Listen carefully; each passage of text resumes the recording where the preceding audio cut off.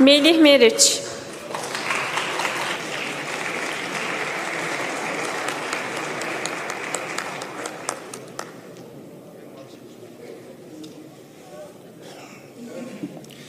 Devletin varlığı ve bağımsızlığını, vatanın ve milletin bölünmez bütünlüğünü, milletin kayıtsız ve şartsız egemenliğini koruyacağıma, hukukun üstünlüğüne, demokratik ve layık cumhuriyete ve Atatürk ilke ve inkılaplarına bağlı kalacağıma, toplumun huzur ve refahı, milli dayanışma ve adalet anlayışı içinde herkesin insan haklarından ve temel hürriyetlerden yararlanması ülkesinde, ülkesinden ve anayasaya sadakatten ayrılmayacağıma büyük Türk milleti önünde namusum ve şerefim üzerine ant içerim.